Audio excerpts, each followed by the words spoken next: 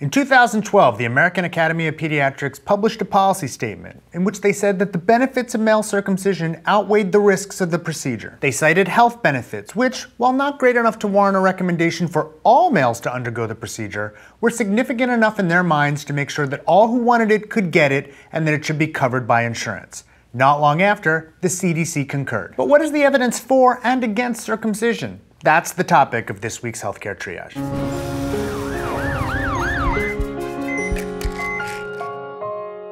For years, pediatricians have cited studies that show that being uncircumcised is a risk factor for developing a urinary tract infection. They point to research that shows that penises that are circumcised have lower levels of yeast and bacteria on them. Even more compelling, cohort studies showed that there was a tenfold increase in the rate of urinary tract infection in boys who were uncircumcised versus those who were circumcised. That's a relative rate difference, though, not an absolute difference. The actual rates of urinary tract infection were 1.1% versus 0.1% for an absolute rate difference of about 1%. This means that the number needed to treat is 100, or that 100 boys would need to be circumcised to prevent one urinary tract infection. Other studies say the number might be even higher. It's really hard to argue that this decrease is worth a permanent surgical procedure. It's especially hard to argue given that we don't really have data from randomized controlled trials. It's possible that there's something else different about boys who were circumcised against those who were not, especially since the vast majority, more than 80%, of boys in those studies were circumcised. Regardless, this amount of benefit seems to pass the threshold for coverage by insurance, which is low so it's available to any who want it. Another benefit sometimes touted for circumcision is a reduced risk of penile cancer. Case control studies have reported that men who are uncircumcised have a three times greater chance of developing penile cancer. Again, that's relative though. Penile cancer is very rare in the United States, so the actual risk reduction from circumcision is very, very small. It's estimated that more than 300,000 infants might need to be circumcised to prevent one case of penile cancer each year. Some will argue that circumcision can reduce the chance of contracting a sexually transmitted infection later in life. A systematic review of 26 studies found that circumcised men are at a lower risk of syphilis or chancroid.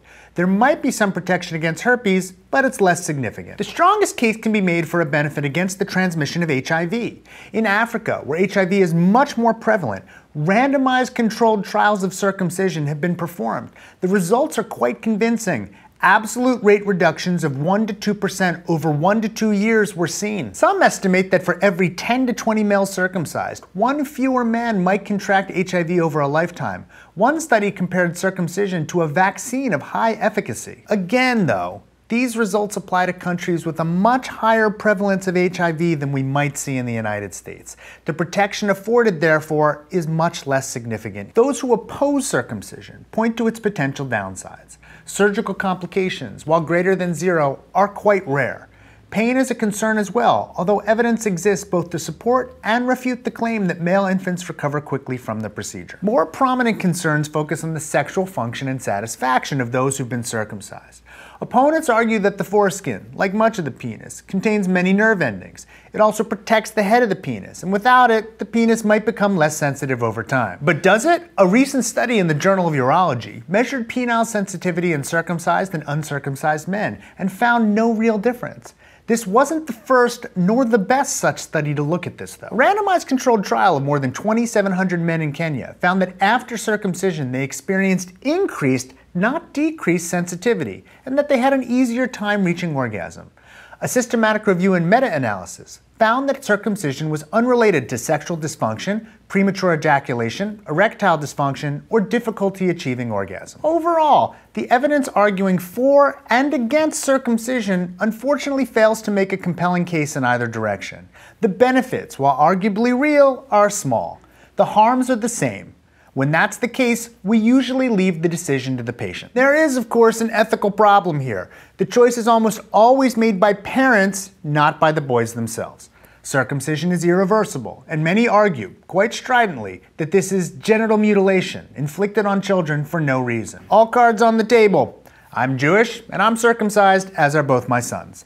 The procedure has an ethnic and spiritual weight in my community, and when confronted by people who use such language, I generally recoil. Circumcising my boys was a personal decision for my wife and me, and I understand thoroughly all of the various arguments made for and against the practice.